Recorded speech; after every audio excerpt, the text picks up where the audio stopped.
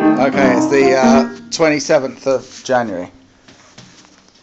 Losing C. Yeah. Two, three.